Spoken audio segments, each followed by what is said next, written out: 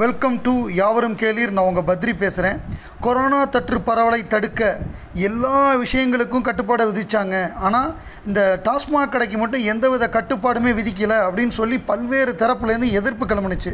So அது எதிர்ப்பு கிளம்புனதுக்கப்புறம் இப்போ தமிழ்நாடு அரசு டாஸ்மாக் கடைகளுக்கான தனியான கட்டுப்பாட்டு நெறிமுறைகளை சொல்லியிருக்காங்க. அதில் என்ன சொல்லியிருக்காங்க அப்படின்னா ஒன்று மதுபான சில்லறை விற்பனை கடைகளில் எந்த ஒரு கூட்ட நெரிசலும் இருக்கக்கூடாது.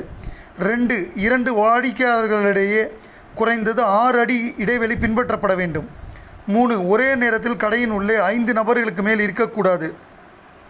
நாலு அனைத்து மதுபான சில்லறை விற்பனை கடைகளிலும் மேற்பார்வையாளர்கள் பாதுகாப்பு உபகரணங்கள் மற்றும் பாதுகாப்பு நடவடிக்கைகள் மேற்கொள்வதை உறுதி செய்து கொள்ள வேண்டும். அஞ்சு கடைப்பணியாளர்கள் மூன்றடுக்கு முகமூடி மாஸ்க்கு முகக்கவசம் ஃபேஸ் ஷீல்டு கையுறைகள் க்ளவுஸ் மற்றும் குறிப்பிட்ட கால அளவில் கிருமி நாசினி திரவத்தை பயன்படுத்த வேண்டும். சானிடைசர் ஆறு கடையை கிருமி நாசினி சானிடைசர் கொண்டு சுத்தம் செய்ய வேண்டும். கடை பணியாளர்கள் வேலை நேரத்தில் கிருமி நாசினி திரவத்தை குறைந்தது ஐந்து தடவைகள் குறிப்பிட்ட கால இடைவெளியில் பயன்படுத்த வேண்டும்.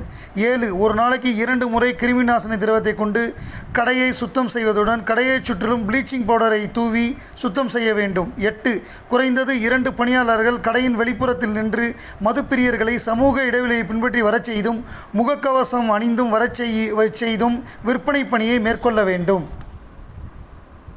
கடை பணியாளர்கள் மது பிரியர்களை கடையின் அருகில் மது அருந்த அனுமதிக்காமலும் அதிக கூட்டம் சேராமலும் பொது இடங்களில் மது அருந்துவதை தடை செய்யும் வகையிலும் பணிபுரிதல் வேண்டும்.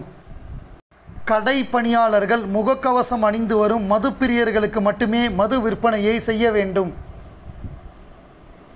குறைந்தது ஐம்பது வட்டங்கள் சமூக இடைவெளியை பின்பற்றுவதன் பொருட்டு கடையின் எதிரே வரையப்பட்டிருக்க வேண்டும். விலைப்பட்டியல் பார்வையாளர்களின் பார்வையில் படும்படி தொங்கவிடப்பட்டிருக்க வேண்டும். இருபத்தோரு வயது நிரம்பாத யாருக்கும் மதுபானத்தை விற்பனை செய்யக்கூடாது.